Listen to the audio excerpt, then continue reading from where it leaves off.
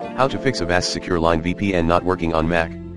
Some routers have the option to enable or disable IPsec, sometimes displayed as VPN pass-through. For SecureLine VPN to connect and function properly, ensure that IPsec or VPN pass-through is enabled.